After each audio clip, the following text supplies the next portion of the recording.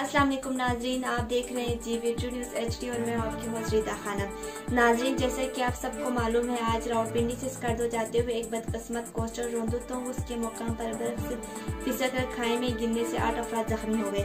अल्हम्दुलिल्लाह, कोई जानी नुकसान नहीं हुआ। हमारी दुआ है कि जख्मियों को जल्द सेहत कामना अता फरमाए।